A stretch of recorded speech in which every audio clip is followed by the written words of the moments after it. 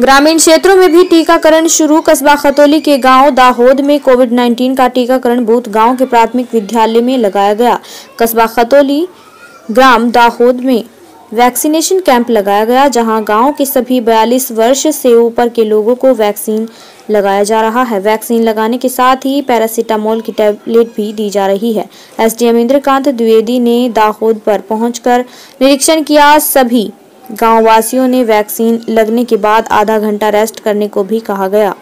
और गाँव वासियों ने टीकाकरण में बढ़ चढ़कर हिस्सा लिया और एसडीएम इंद्रकांत द्विवेदी ने सख्त निर्देश दिए कि सोशल डिस्टेंसिंग का पालन किया जाए और मास्क अवश्य लगाएँ।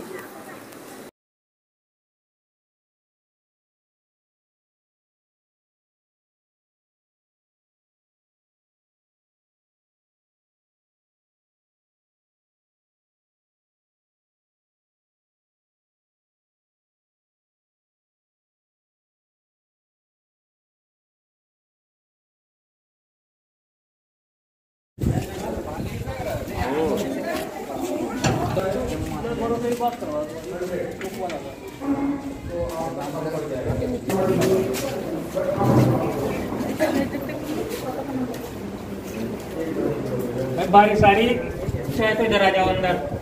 बारिश होने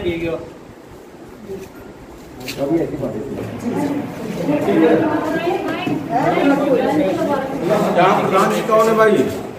आप आप लेखपाल डॉक्टर साहब आपका नाम?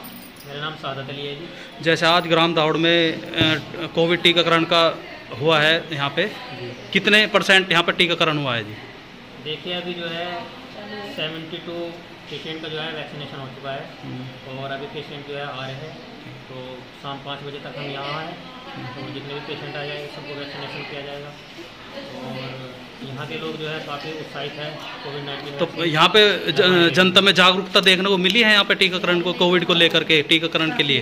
देखें यहाँ काफ़ी उत्साहित है और नब्बे प्रतिशत जो है कोविड नाइन्टीन वैक्सीनेशन के लिए यहाँ की जो पॉपुलेशन है वो जागरूक है।